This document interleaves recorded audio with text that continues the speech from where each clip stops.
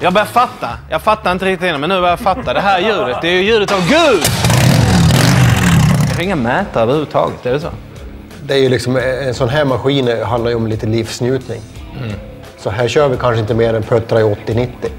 Okej. Okay. Du känner lite eh, lukt av koskit, lite flugor i ansiktet.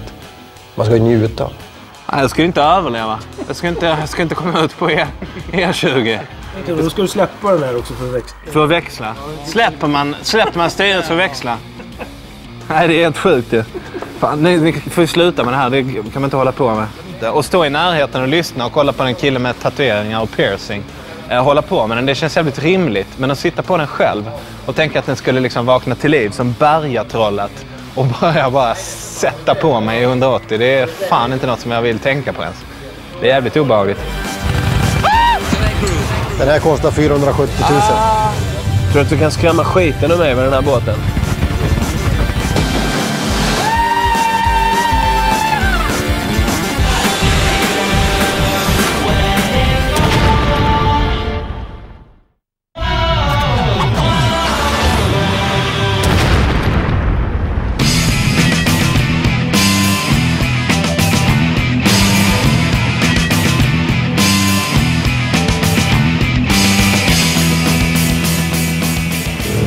Norrtälje.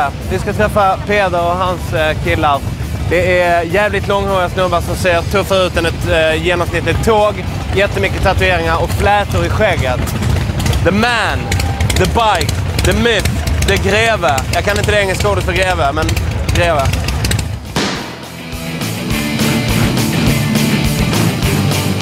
Nu eh, står vi alltså på Custom Bike Show i Norrtälje, vilket är Sveriges, eller norra Europas största Custom Bike Show. Okej. För eh, ombyggda motorcyklar, specialbyggen.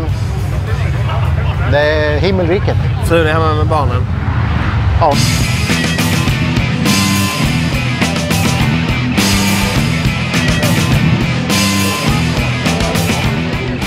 När det började hos mig, det, det har jag inte riktigt koll på så, men alltså det är ju en pension som alltid har funnits där.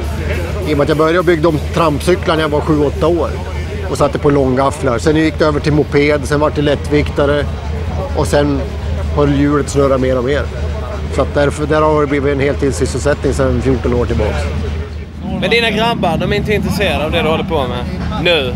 Än så länge känner jag mig inte så orolig för de är ju bara mellan 3 och 10. Men eh, ser, ser inte jag att det blir en, eh, ett intresse ganska snart då, då blir jag faktiskt väldigt orolig. Det, är ju väldigt viktigt så att eh, om ett par år så börjar det att dyka ner lite verktyg i julklapparna. Vad kan det vara för verktyg? Ja, vi kan ju börja med, med, med en liten eh, hylsnyckelsats i tum och, och lite amerikanska skruvar. Vi kan köra lite, istället för att läsa serietidningar på kvällar så börjar vi läsa motorböcker, beskriver så att de får in, ska få känslan för det.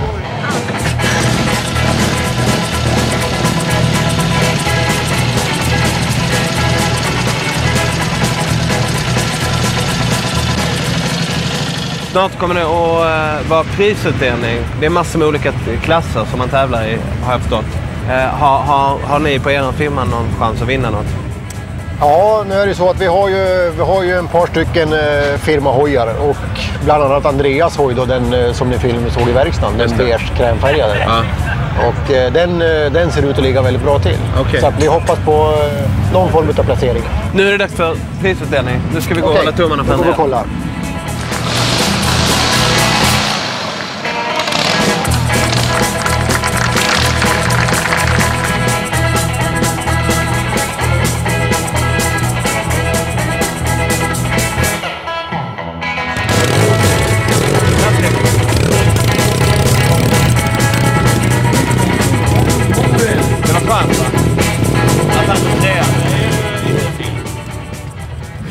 13.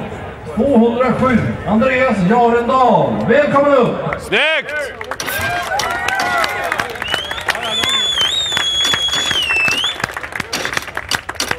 Han kommer från Crazy Indian. Ja, kanske inte då. Ja, vi har hela, tack. Grattis! Första pristagaren i popper. Popper. Du vann första pris. Stort grattis. Tack, tack. Det var någonting som hände när du skulle köra upp motorcykeln på scen. kommer jag inte ihåg. Du kommer inte ihåg det? Nej. jag kan hjälpa dig. Den startade inte. Vad är, det, vad är hemligheten? Vad är det bästa med din hoj? Vad är det som gjorde att du vann? Jag tror det ligger mycket i att det är rent och enkelt. Man ser vad, vad man får så att säga. Jag kan ingenting om det här, men steg ett fattar jag själv. Det är att jag ska sätta mig på motorcykeln, eller hur? Oj. Den här kostar 470 000. Ah. Är det inte jävla risk att man fastnar i den här? Jo. Jag, gillar.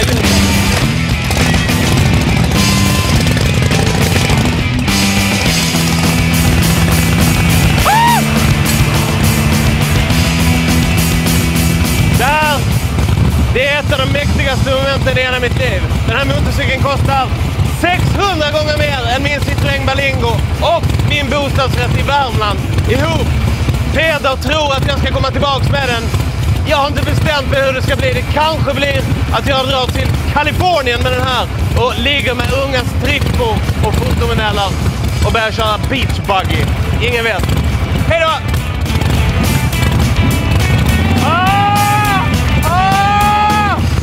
Ah!